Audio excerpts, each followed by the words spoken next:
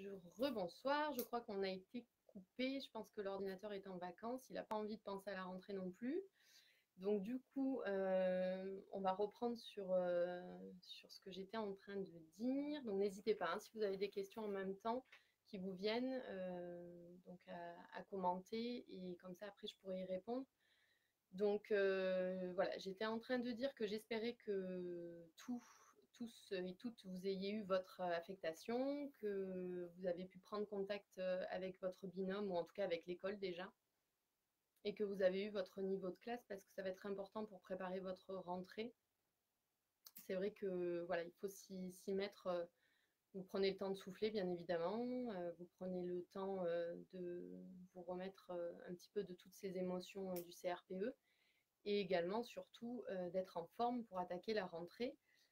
Mais c'est vrai que voilà, de connaître son niveau de classe, ça va vous permettre de préparer votre rentrée parce qu'effectivement, la rentrée officielle est le lundi 2 septembre, si mes souvenirs sont bons.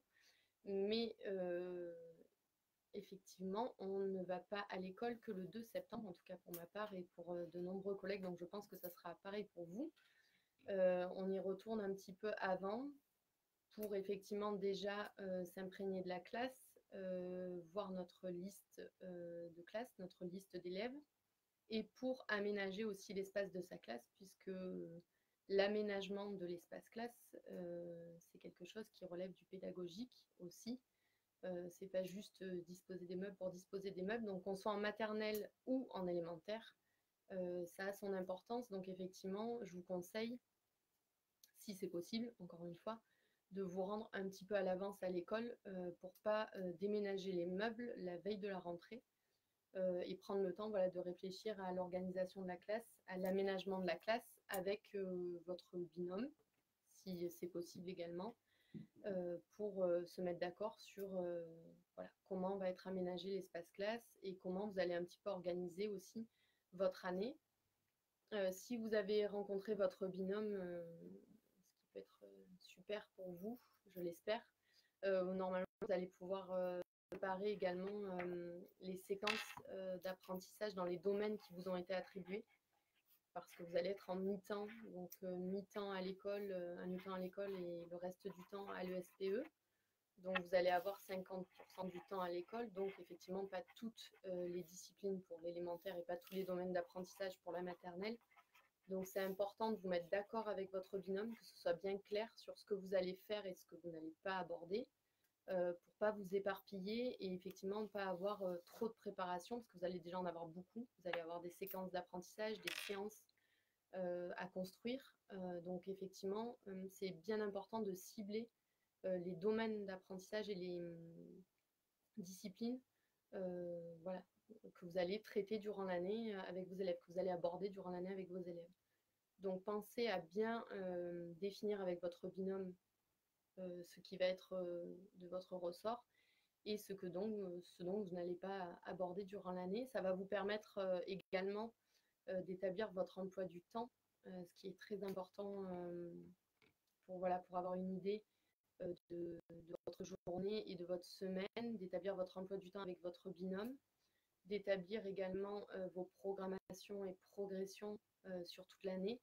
Alors ça aussi, vous pouvez tout à fait établir ces programmations progression soit de façon individuelle, c'est-à-dire que vous allez établir vos propres programmations progression par rapport à vos domaines d'apprentissage et vos disciplines, soit vous pouvez le faire, moi c'est ce que j'avais fait avec le binôme. Alors ça aussi, il faut prévoir du temps, il faut que votre binôme soit disponible pour pouvoir construire ces premières séances et ces premières séquences et ces programmations de progression. Alors c'est vrai qu'il faut être assez entouré parce que je crois, euh, en tout cas moi c'était le cas que ma tutrice, euh, j'ai pu prendre contact avec elle, ce qui est normal euh, après la rentrée. Donc c'est vrai que pour préparer sa rentrée, il va falloir vraiment essayer de, vous entourer de l'équipe et de personnes qui sont là pour vous aider, pour construire justement, dans un premier temps, en tout cas pour le premier mois, on va dire, pour cette première période, euh, tout ce qui relève euh, de la préparation euh, de la classe avec effectivement de nombreuses questions parce que c'est vrai que quand on prépare et quand on se retrouve face à sa classe, parfois on a des difficultés, on a des choses qu'on avait prévues et qu'on ne va pas pouvoir faire. Donc c'est vrai qu'il va falloir aussi s'adapter en fonction des élèves. Donc je, ne vous mettez pas la pression, il va falloir préparer, c'est sûr. Ça demande, un certain temps, ça demande beaucoup d'énergie, mais il faut aussi prendre en compte les élèves qu'on a en face de nous et continuer, enfin c'est vraiment à chaque fois remédier et repenser ces séances, ces séquences en fonction du public et en fonction des élèves, des difficultés des élèves ou, pas d'ailleurs, et différencier en fonction de, des élèves que l'on peut avoir dans sa classe. Donc voilà, il faut préparer, il faut être consciencieux pour ne pas se laisser déborder, mais il ne faut pas non plus paniquer parce que voilà, il faut prendre le temps de, découvrir un petit peu sa classe pour, essayer de construire vraiment des séquences et des séances qui sont adaptées à vos élèves. en ce qui concerne la rentrée, vraiment, je pense surtout à tout ce qui est documents administratifs, tout ce qu'on va vous demander d'avoir dans votre classe, au niveau administratif, je parle. N'hésitez pas à demander à votre directeur ou votre directrice d'école qui sont là pour normalement vous donner tous ces papiers et vous donner également tout ce que vous devez avoir en documents euh, administratifs pour justement cette première rentrée. Après, vous pouvez toujours vous référer à EduScol et aux programmes qui sont euh, donc euh, sur le site de l'éducation nationale, où là vous avez quand même des petites ressources pour vous aiguiller pour la rentrée. N'hésitez pas à jeter un petit coup d'œil. Voilà. Après, il faut être effectivement bien entouré pour préparer, pour anticiper surtout la rentrée, parce que ben, vous allez avoir la classe, mais vous allez avoir également le SPE, où là, on est plutôt sur des cours euh, qui vont un petit peu euh, relever de la théorie, euh, un petit peu de pédagogie, mais c'est vrai que c'est parfois un petit peu difficile de mettre en lien, en tout cas quand on débute et quand c'est la rentrée, qu'on a beaucoup de choses à faire. Vous avez également le mémoire à préparer. Alors le petit conseil pour le mémoire, c'est de choisir un sujet de mémoire qui soit euh, en lien avec ce que vous faites dans votre classe. Euh, par exemple, euh, moi personnellement, j'avais donc une classe de maternelle et j'avais choisi un sujet de mémoire sur les espaces jeux et le langage, puisque je peux, pouvais mener des observations, donc toujours des observations qui sont faites dans l'anonymat, hein, voilà, on ne va pas nommer les élèves, mais on peut mener des observations et ça peut nous apporter des données pour notre mémoire et donc ça peut être intéressant aussi parce que ça peut nous faire évoluer, euh, ça peut faire évoluer notre pratique euh, au quotidien. Donc ça peut être intéressant de choisir un, sujet de mémoire qui soit en adéquation euh, avec ce que vous faites en classe. Voilà, de pas trop vous éparpiller pour essayer d'avoir du temps pour le SPE et surtout pour la préparation de votre classe parce que vous allez voir que la première année, je ne veux pas du tout vous faire peur, mais c'est assez conséquent et on est un petit peu on découvre. Voilà, on découvre le métier, on découvre une classe, euh, on découvre une équipe. Donc euh, effectivement, euh, il faut essayer de s'organiser et de prendre le temps de poser les choses. Donc voilà, si vous avez anticipé un petit peu votre rentrée, que vous avez pu préparer en tout cas la première semaine, les deux premières semaines et que vous savez un petit peu à quoi vous attendre, ça va vous permettre voilà, de ne pas démarrer un petit peu sur les chapeaux de roue, parce que parfois c'est c'est un petit peu ça qui se passe. Euh, dans la rentrée, vous avez également la réunion de rentrée. Alors peut-être que vos collègues, euh, vos binômes vous en ont parlé. Euh, vous avez une réunion de rentrée qui peut se faire avec les parents. Donc après, ça dépend des écoles.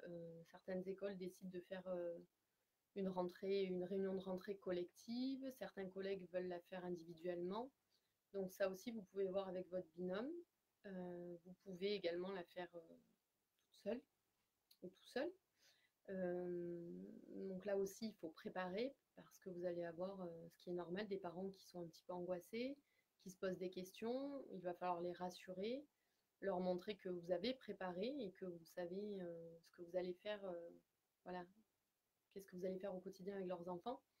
Donc il faut être assez à l'aise et connaître ce que vous allez faire. Donc c'est pour ça que c'est très très important je pense, de connaître vos domaines et d'avoir commencé à, préparer euh, des, thèmes, des séquences que vous allez pouvoir donner en exemple, par exemple, aux parents. Donc c'est bien d'avoir des séquences d'apprentissage dans les domaines que vous allez traiter qui sont déjà voilà, qui sont déjà élaborés pour pouvoir rassurer les parents et leur montrer que oui, euh, euh, on était en période de vacances scolaires, mais nous, les professeurs des écoles, on n'est pas en, vacances. Euh, voilà, ce sont des vacances qui sont là, on nous demande de préparer notre classe. Donc il faut en profiter pour s'avancer un petit peu et vraiment anticiper votre, votre année et vos premières semaines, en tout cas, d'école qui vont être euh, source d'angoisse, de stress, donc qui vont rajouter de la fatigue. Et effectivement, le soir, en rentrant euh, chez vous, vous n'allez pas forcément avoir l'énergie euh, de vous replonger encore dans des séquences ou des séances. Donc voilà, c'est bien d'élaborer dans un premier temps les premières semaines. Je pense que c'est important de les avoir anticipées, de les avoir préparées justement dès le mois d'août et ne pas attendre fin août les, même les premiers jours de septembre, parce que sinon vous allez être vite, euh, je pense, euh, vite débordé. Après, souvent, euh, vous allez avoir de toute façon une équipe qui est là pour vous écouter et vos collègues vont être là aussi pour, vous, conseiller. Eux aussi font leur rentrée, donc c'est vrai que parfois c'est un petit peu délicat, on n'ose pas trop les déranger et on peut comprendre aussi pour eux c'est du travail, de la fatigue, du stress, parce que chaque année ça sera la même chose. La rentrée c'est toujours quelque chose de stressant, même si ça fait plusieurs années qu'on est enseignant. Donc voilà, vous avez l'équipe enseignante. Donc rassurez-vous, on n'est jamais quand même tout seul. Vous avez les ATSEM aussi en maternelle qui sont là, euh, qui connaissent parfois plus les familles, puisqu'elles sont là depuis plus longtemps dans l'école où vous êtes euh, et qui vont être euh, aussi là pour vous écouter et puis vous donner des petits conseils, pas sur la pédagogie c'est sûr, mais en tout cas pour vous donner des petits conseils. Euh, donc on peut compter euh, sur les personnes qui nous entourent, mais c'est vrai que le tuteur ou la tutrice euh, de l'ESPE, je pense que normalement vous n'allez pas avoir contact avant la rentrée. Donc elle sera là après pour vous, voilà, pour vous mais je pense qu'au début, voilà, pas, il faut que vous, vous ayez un petit peu préparé seul en amont votre rentrée. Donc, pensez à vous accorder du temps également pour souffler quand même. Euh, durant ces premières semaines. Euh, c'est comme le, finalement, c'est un petit peu comme le CRPE. Euh, on veut faire, on veut faire, on veut faire, mais il ne faut pas non plus s'éparpiller. Et c'est bien d'avoir des choses qui sont prêtes et qui vous permettent voilà, d'aborder votre classe sereinement. Donc, essayez d'être voilà, d'être actif là pendant le mois d'août et ça vous permettra de gérer votre temps beaucoup plus facilement à la rentrée de septembre et de ne pas être trop fatigué par la préparation de la classe, la préparation de l'SPE et euh, commencer la rédaction de votre mémoire puisque tout va, tout va s'enchaîner euh, dès le mois de septembre. Euh, après, pensez également vraiment à communiquer avec votre binôme s'il y a des choses qui vous posent problème, s'il y a des, si vous avez des petits soucis, n'hésitez pas voilà, à, hum, à rentrer en contact avec votre binôme, euh, à lui poser des questions, à lui envoyer des messages. Euh, voilà. Euh, n'hésitez pas à communiquer vraiment avec l'équipe enseignante, avec votre binôme, pour que effectivement vous ne soyez pas dans une impasse ou vous retrouvez en difficulté. Parce que c'est vrai que souvent les, binômes sont là quand même aussi. alors pas, c'est pas leur rôle de vous aider, mais c'est ce qui se fait aussi, c'est que les binômes sont, tout le monde est bienveillant et donc euh, voilà, n'hésitez pas à dire lorsque vous avez un souci ou quoi que ce soit, même à votre directrice, directeur d'école, d'en faire part parce que euh, voilà, être enseignant, c'est aussi travailler en équipe, donc euh, n'hésitez pas à, communiquer, c'est vraiment important. Ne gardez pas tout pour vous et, et partagez si vous avez des difficultés. après, c'est vrai que avec le SPE, parfois on a beaucoup, enfin, il y a beaucoup de théorie, enfin plus de théorie que de pratique. Donc c'est parfois un petit peu difficile de faire le lien. Mais voilà, essayez vraiment de, vous adapter. Euh, ce qui va ressortir de l'ESPE, voilà, essayez de vous adapter euh, à vos élèves et prenez bien en compte euh, votre classe et vos élèves pour pouvoir effectivement répondre au mieux aux besoins des, élèves de votre classe. Donc voilà, pour aborder une rentrée sereinement, si on fait un petit peu une liste, un petit listing, c'est vraiment de ne pas vous y prendre à la dernière minute. Alors là, oui, on est mi-juillet, prenez le temps de vous reposer, de respirer parce que ça a été beaucoup d'angoisse et de stress durant le CRPE. Mais voilà, je pense que début août, c'est quand même important de se recentrer, de commencer à préparer sa classe.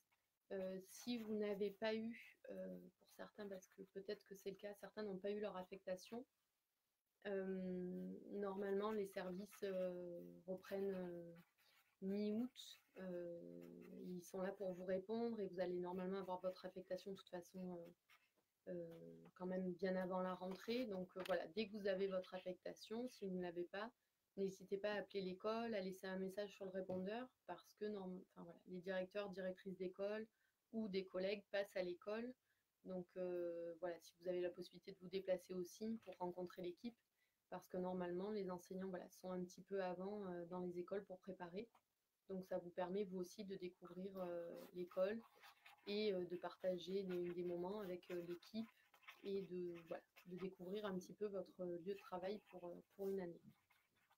Et surtout, euh, voilà, anticipez au maximum, ne vous laissez pas déborder parce que ça va être une année quand même qui est un petit peu chargée. Euh, alors oui, vous connaissez parce que vous avez vécu le, CRPE, euh, mais c'est autre chose parce que ben, vous voulez vous investir et vous avez des enfants qui sont en demande et qui sont dans l'attente. Et donc, voilà, pour bien faire, je pense qu'il est important de ne pas se laisser déborder et de profiter de ces vacances pour se reposer, mais également euh, pour travailler, puisque au moins ça vous permet voilà, d'avoir des choses, même si vous allez réadapter ce que vous avez préparé, ça vous permet d'avoir des choses qui sont construites et qui vous permettent voilà, de ne pas vous éparpiller et de savoir un petit peu où vous allez aller durant cette rentrée.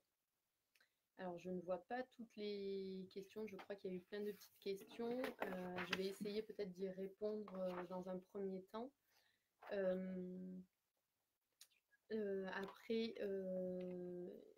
effectivement, voilà, si vous avez d'autres questions, n'hésitez pas à les, à les, noter et je vais pouvoir y répondre. concernant euh, ma rentrée à moi, euh, ma première rentrée, euh, pour terminer sur, ce petit point, ma première rentrée a été un petit peu déstabilisante, mais je m'en suis sortie, donc je vais vous en parler. Je pense que c'est important. Ma première rentrée, il y a eu un petit problème au niveau de l'affectation. Et donc, j'ai connu mon niveau de classe et mon école quelques jours avant quelques jours avant la rentrée des classes. Donc c'est vrai que j'étais un petit peu, euh, j'ai fait une, rentrée un peu sur les chapeaux de roue. ça a été difficile parce que ben, il a fallu engendrer beaucoup de travail en très peu de temps. Mais je m'en suis sortie parce que effectivement, voilà, j'ai pu m'inspirer, j'ai pu m'inspirer de, petites séquences, de petites séances et tout ça. Euh, et j'ai adapté après en fonction de la classe que j'ai eue. Euh, donc je vous invite à, lire le petit article que j'avais euh, rédigé concernant ma première rentrée. donc il est sur le blog de Fort Prof, des anciens Fort Profiens également.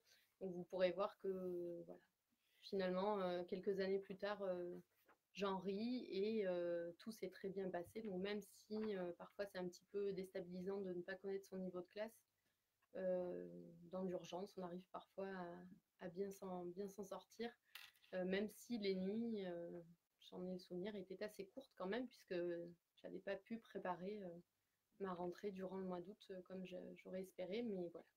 Après, ça se fait et parfois, ça arrive qu'il y ait des petits, des petits soucis, c'est souvent informatique d'ailleurs, qui font qu'on n'a pas, son affectation tout de suite. Donc, je vais passer aux petites questions euh, pour pouvoir euh, répondre euh, donc, aux personnes. Donc, on me demande comment s'organiser avec son binôme. Donc, si vous avez eu votre binôme, si vous connaissez en tout cas l'identité de votre binôme, le mieux c'est d'échanger toutes les coordonnées possibles si elle ou il est d'accord. téléphone, mail, puisque vous allez travailler de toute façon ensemble durant toute l'année. Donc pour vous organiser, le mieux c'est de définir clairement, c'est ce que je vous disais tout à l'heure, définir vraiment clairement qu'est-ce que vous allez vous traiter cette année, quels vont être vos domaines ou vos champs de compétences. Et comme ça, au moins, vous partagez vraiment le travail. Après, rien n'empêche de vous concerter, d'échanger. parfois, vous allez voir que votre binôme va vous demander peut-être de terminer une séquence qu'elle n'a pas eu le temps de terminer. Mais vraiment, l'important, c'est pour s'organiser que vous ayez, choisi toutes les deux un certain cadre en ayant bien défini clairement ce que vous alliez faire pour pas justement vous éparpiller, c'est ce que je vous disais, et vous rajouter du travail supplémentaire. Euh, concernant les affichages, on me demande quels sont les affichages obligatoires euh, en classe. Alors les affichages obligatoires, vous avez sur euh, Eduscol, si je ne me trompe pas, une liste des, affichages qui sont obligatoires. dans ce qui est obligatoire et qui me vient à l'esprit, c'est bien évidemment les consignes de sécurité en, en cas d'incendie avec le plan. vous avez tout ce qui est PPMS à l'heure actuelle. PPMS, pour euh, tout ce qui est, euh, vous verrez de toute façon ça, le directeur ou la directrice, ce sont des petits exercices de toute façon que vous faites euh, toute l'année. Vous avez les PPMS également, vous avez tout ce qui est PAI pour les enfants qui ont des problèmes d'allergie ou autre. c'est vrai que nous, dans notre école, voilà, on les affiche comme ça, on a, on a les PAI et on sait quels sont les enfants qui ont des petits soucis de santé. vous avez également les plannings. alors ça, c'est pas, je pense, enfin, je ne sais pas si c'est obligatoire, mais je vous le dis parce que moi, c'est ce qui est pour moi très important, les plannings de récréation, euh, l'emploi du temps euh, concernant votre classe. Euh, après, tout ce qui est affichage, on va dire pédagogique, ça, c'est à vous de le définir justement en fonction des apprentissages que vous allez, que vous allez effectuer, de l'enseignement que vous allez faire en classe. Donc après, voilà, c'est à vous concernant l'affichage pédagogique en fonction de vos séquences et vos séances qui ont été préparées en amont, de définir qu'est-ce que vous allez afficher, qu'est-ce qui va être euh, utile et qu'est-ce qui va être euh, pratique, voilà, ou pour euh, en visuel en tout cas pour vos élèves. Donc après, concernant ce qui est de toute façon obligatoire, votre directrice ou votre directeur d'école vous donne normalement à la rentrée tous les documents à afficher et qui sont obligatoires. Alors, on me dit que c'est le flou pour la rentrée, par quoi et par où commencer? Pour commencer, vraiment, c'est de prendre contact avec votre école, de voir votre niveau de classe, et en fonction de votre niveau de classe et de vos élèves, après c'est bien d'avoir la liste de vos élèves normalement les inscriptions ont été faites et vos directeurs ou vos directrices ont la liste euh, des élèves. Donc, si elle peut vous l'envoyer euh, par mail euh, pendant les vacances, si c'est possible, ça vous permet de, connaître le nombre d'élèves et de voir s'il y a des doubles, triples niveaux ou même classe unique, on ne sait jamais. et en ayant ces informations-là, de préparer en amont votre classe. Donc, c'est ça qui est important c'est surtout euh, de connaître votre niveau de classe pour préparer euh, vos premières semaines de rentrée.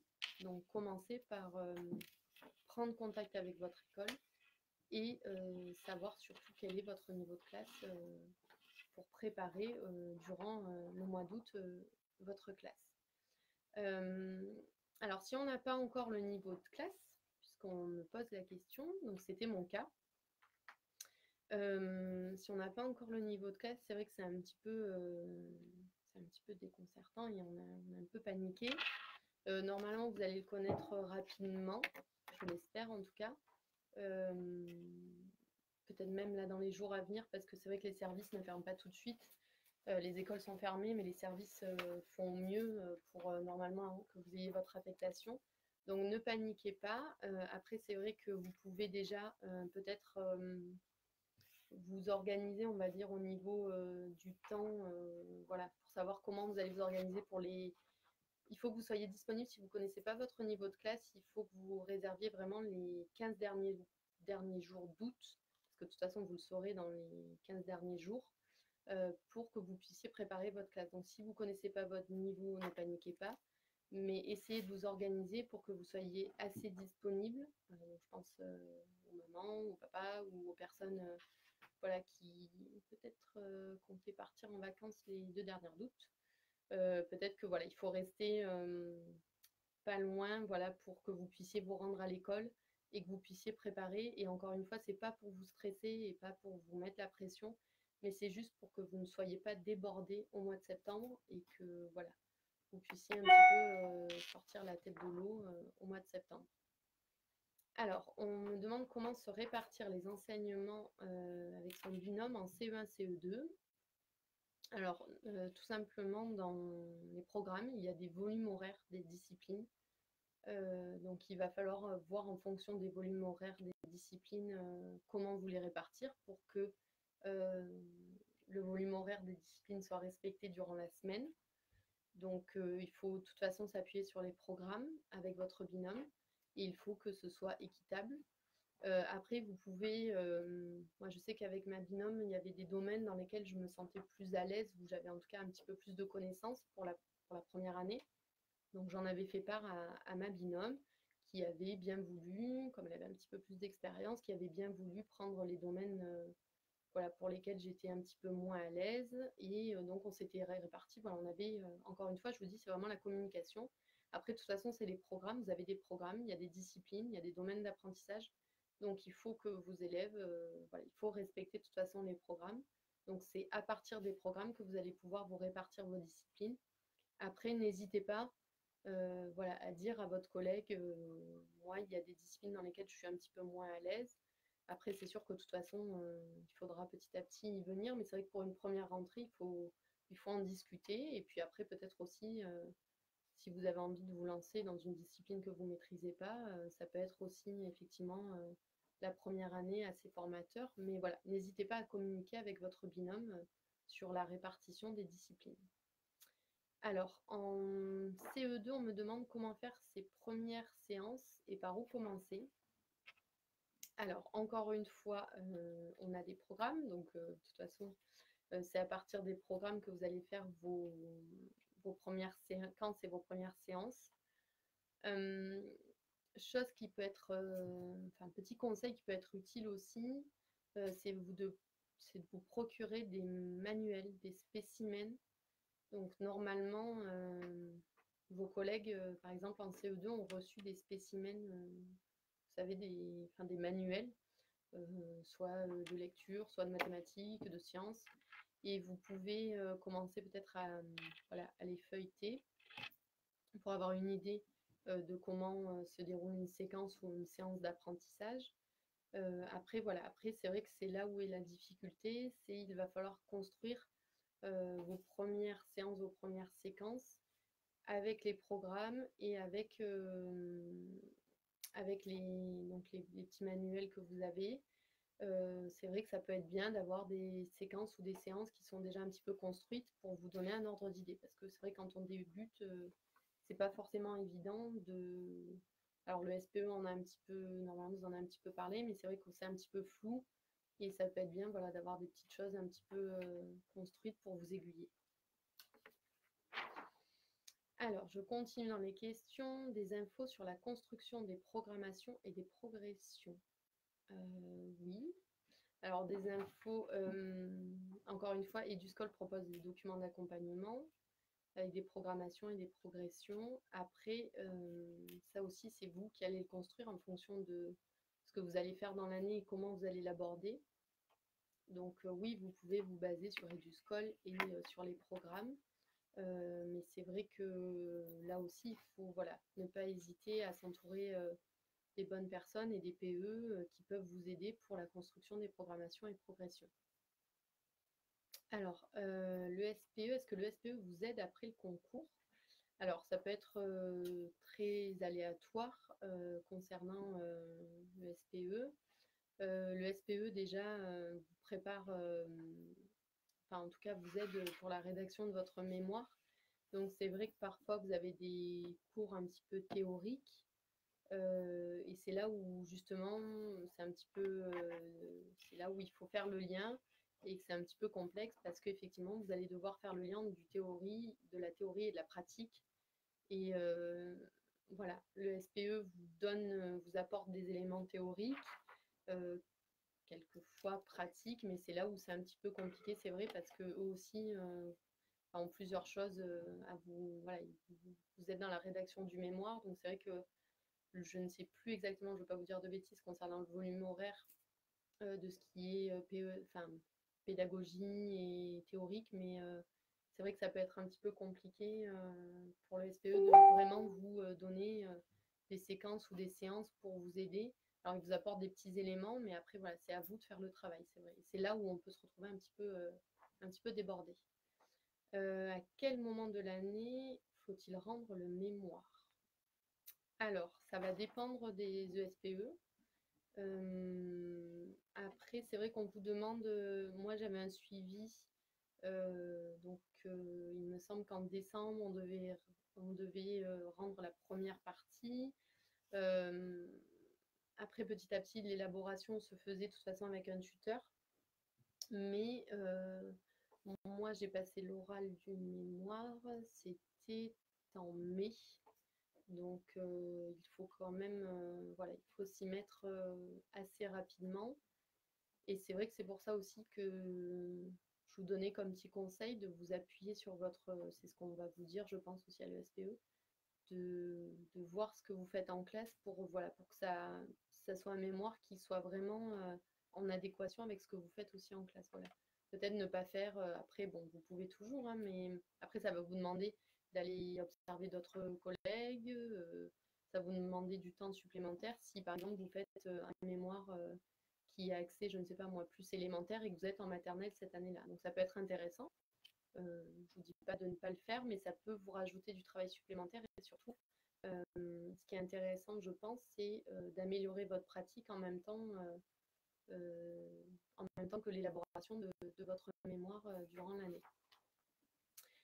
où trouver des petites ressources pédagogiques donc concernant les ressources pédagogiques, vous avez, je sais que la fabrique, je crois, vous propose des petites ressources pédagogiques pour vous aider pour l'élaboration de votre classe.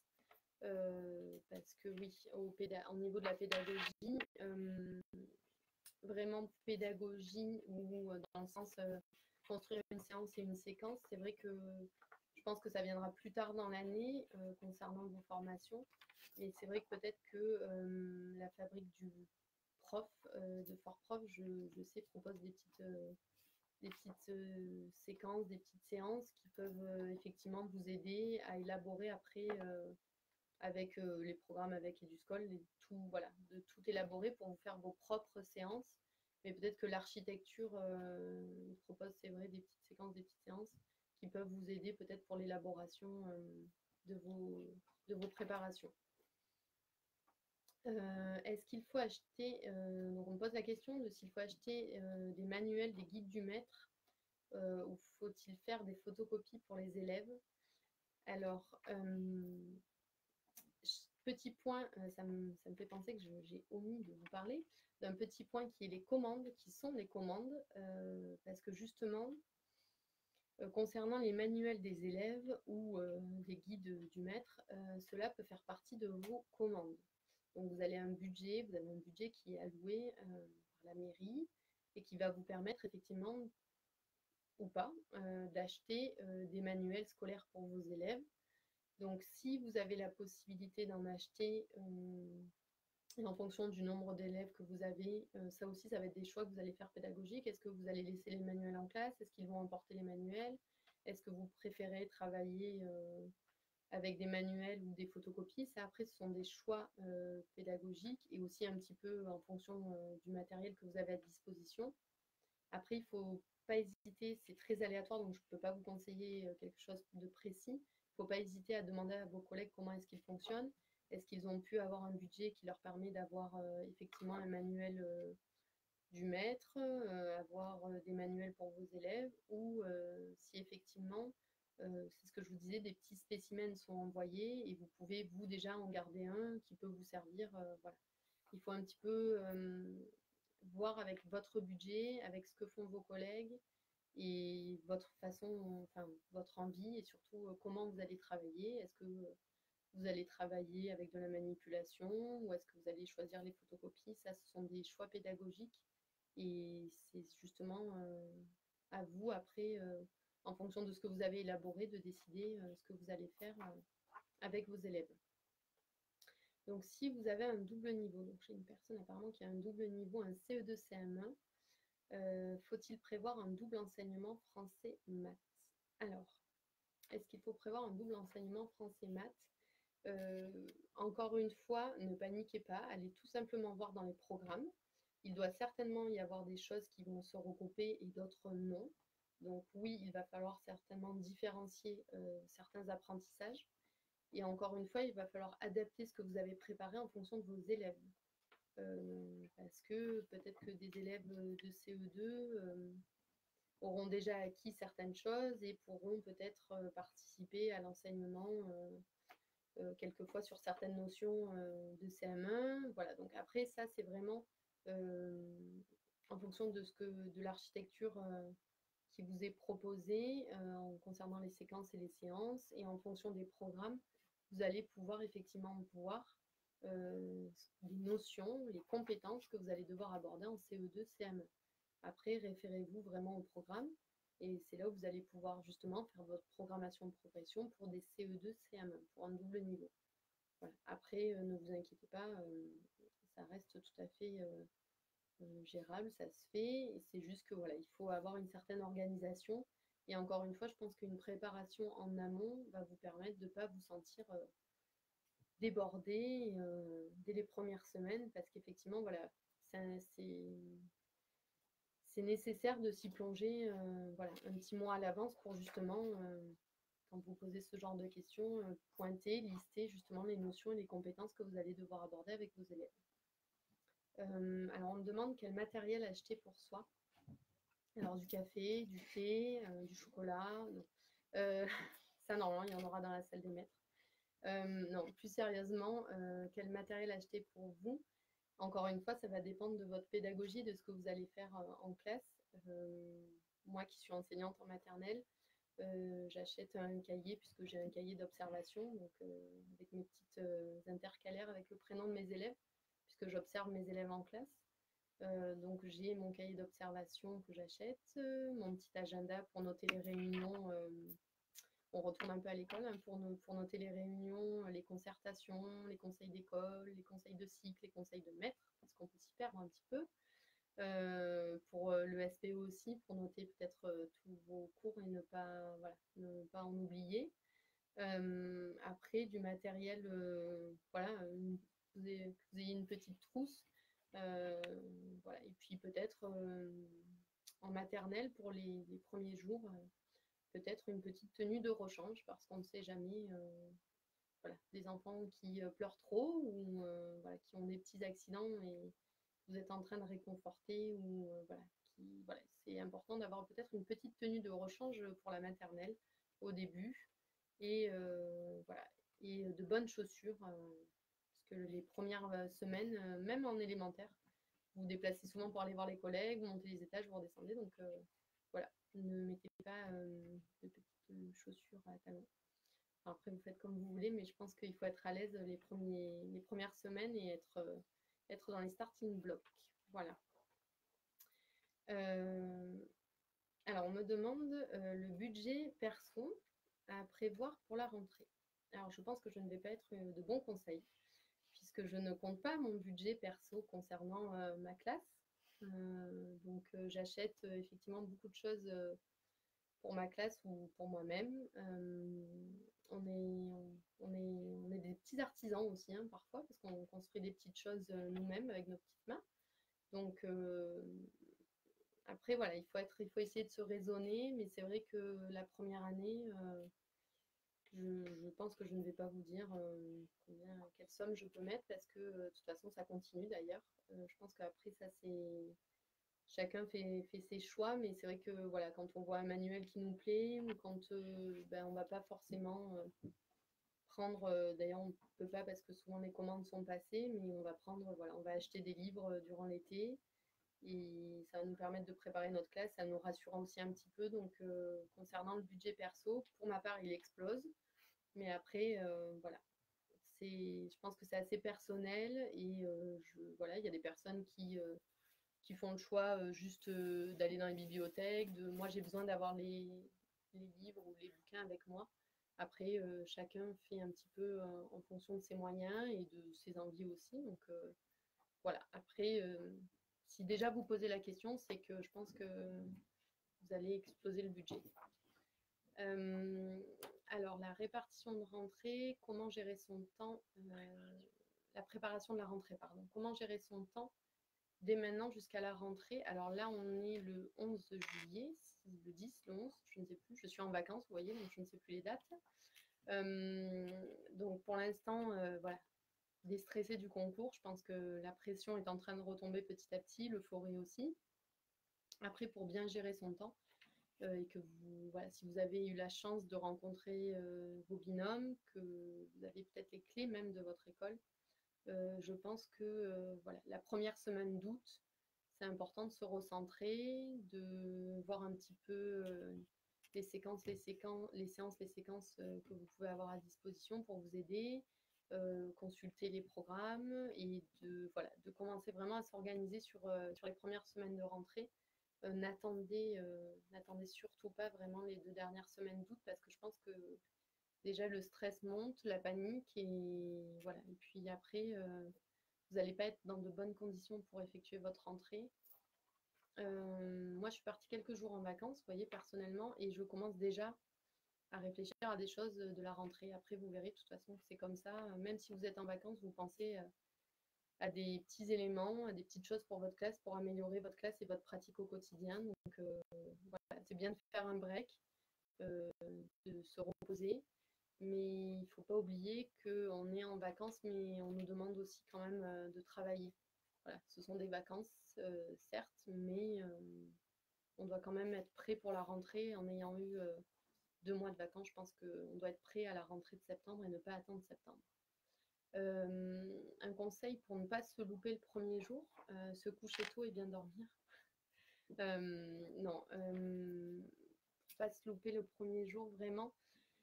être prête, donc ce qui veut dire connaître sa liste d'élèves plus ou moins. Alors c'est sûr, hein, vous n'allez pas les reconnaître quand ils vont rentrer en classe, mais déjà avoir une idée du nombre d'élèves que vous allez avoir. Euh, avoir pu, euh, je pense à ça si vous êtes en maternelle, avoir pu peut-être euh, afficher votre rentrée si vous faites une rentrée échelonnée. pour justement les petites sections, ça se fait beaucoup de voilà, d'échelonner votre rentrée, donc d'avoir préparé justement vos matinées, de savoir où est-ce que vous allez avec vos élèves, ce que vous allez, ce que vous voulez faire, voilà, de les accueillir en douceur, de faire connaissance avec les parents, je pense que c'est important de se présenter, de les rassurer, euh, parce qu'on rassure les enfants quand c'est la première rentrée ou même en élémentaire, hein, voilà. de se présenter, d'établir un, premier contact avec les parents, d'être prêt à communiquer et, euh, voilà, être sereine dans le sens où vous avez préparé, donc vous n'allez pas forcément avoir euh, voilà, un état de stress puisque vous savez un petit peu où est-ce que vous allez vous avez les choses en tête. Parce que c'est vrai que quand on arrive et qu'on ne sait pas ce qu'on va faire durant sa première matinée, ça peut être assez compliqué puisque les enfants euh, attendent et, parfois sont même euh, dès le premier jour euh, voilà, prêts. Donc il faut que vous soyez prêts également le premier jour et ça se passera très très bien pour vous. pour la maternelle, un premier conseil, des, conseils pour, pour, le premier jour en maternelle. Alors si ce sont des petites sections, il faut leur laisser le temps euh, il faut surtout être à leur écoute, euh, il faut essayer de les réconforter, euh, ne pas se mettre de pression. les concernant, c'est vraiment parfois un gros gros changement pour certains. Et il faut être, voilà, il faut être vraiment dans la bienveillance avec les parents aussi parce que bah, parfois ça nous agace quand ils font coucou encore derrière la fenêtre alors qu'on leur a dit de partir. Mais voilà, il faut penser que pour eux aussi c'est difficile, c'est parfois une première séparation. Donc il faut se mettre un petit peu à leur place. Euh, donc voilà, vraiment euh, rester, euh, zen. Les enfants le ressentent de toute façon si vous stressez. Donc voilà, être à leur écoute, prendre le temps de les écouter individuellement, de partager des petits moments avec eux. Et vous allez voir que ça se fera en douceur, mais vraiment prendre le temps. Prendre le temps de les accueillir et de les laisser justement découvrir l'école et leur classe. Comment gérer donc la relation avec les parents? Alors les parents, c'est vrai que ils ont une petite réticence parfois quand ils découvrent une nouvelle personne dans l'école.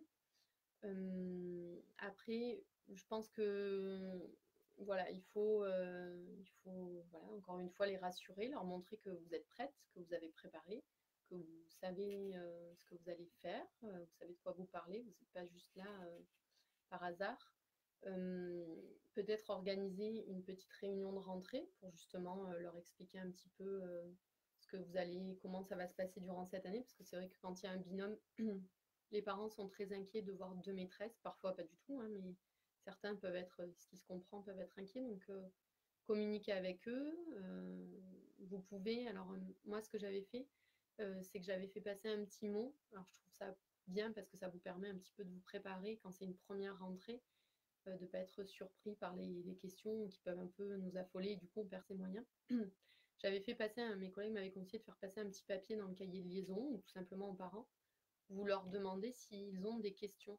voilà, s'ils ont des questions pour cette, rentrée.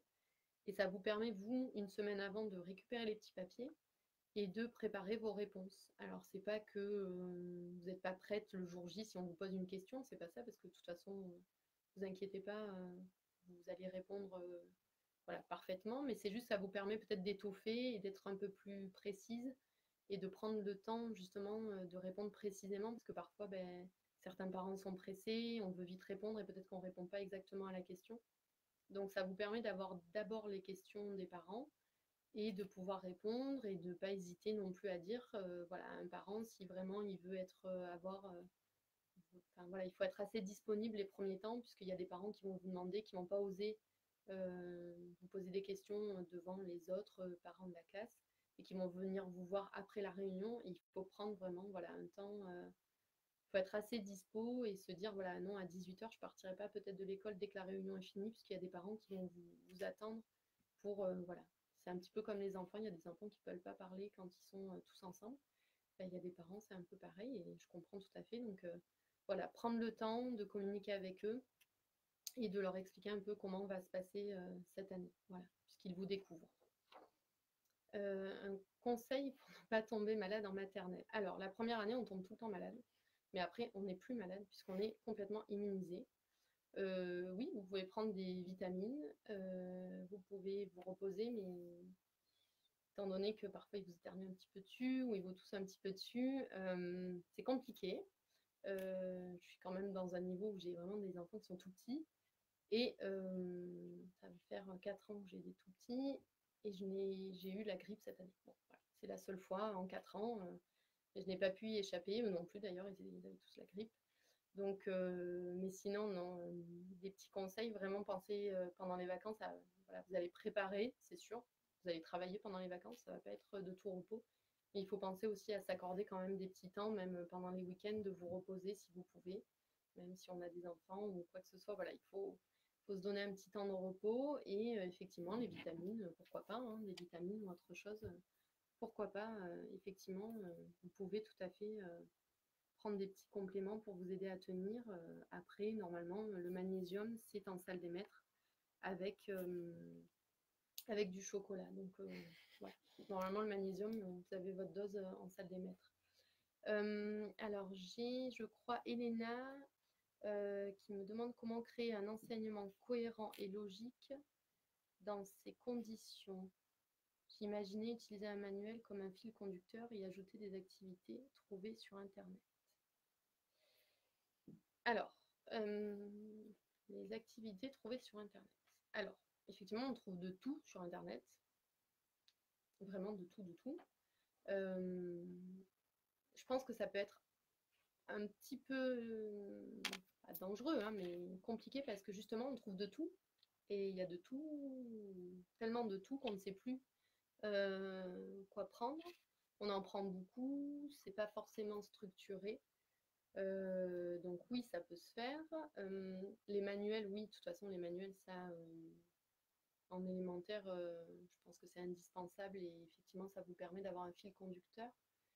Après, voilà, sur Internet, il y a effectivement, comme de tout, hein, de toute façon, il y a de tout en abondance. Après, il faut faire attention. Je pense que ça peut être compliqué parce que vous allez vous éparpiller et il va en avoir un petit peu de partout.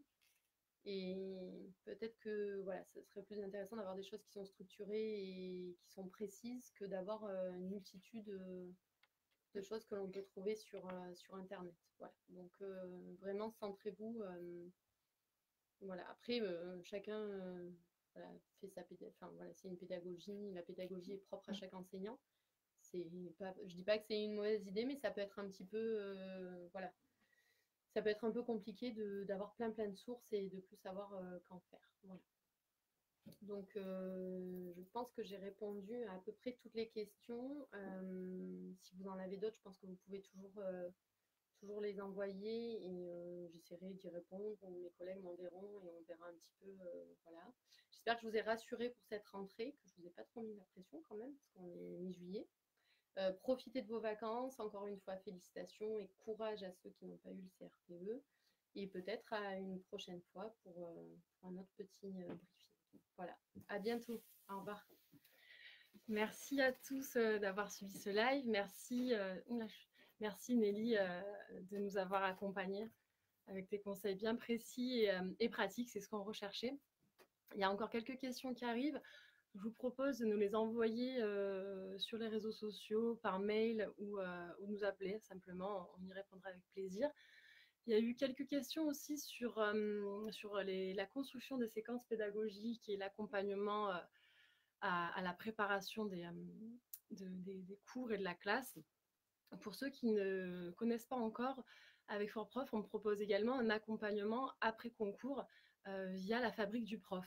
Je ne sais pas si vous, avez pu parcourir un peu notre site euh, après concours. On vous mettra le lien en, commentaire, vous puissiez aller y jeter un, jeter un œil. Euh, on, tient en fait, nous, à vous accompagner aussi après le concours, c'est important. Euh, donc sachez que vous dessus, vous pourrez y retrouver euh, des, séquences pédagogiques, du coaching pédagogique et, euh, pas mal de nouveautés qu'on va lancer d'ici quelques semaines. Donc le site est en, pleine refonte. On espère pouvoir vous proposer rapidement ce, nouvel accompagnement euh, qu'on est en train de, de, retravailler, vous, vous préparer pour que ce soit bien, bien calé pour votre rentrée. Donc tenez-vous informés là-dessus. Nous, on vous enverra quelques informations aussi en temps et en heure. Mais d'ici quelques semaines, vous devrez pouvoir retrouver tout ça euh, sur le lien que je vais vous mettre euh, dans les commentaires ci-dessous. Merci en tout cas à tous. Merci Nelly. Et si vous avez d'autres questions, euh, n'hésitez pas à nous les envoyer sur, tous nos, sur tous nos réseaux sociaux. On y répondra avec plaisir. À bientôt.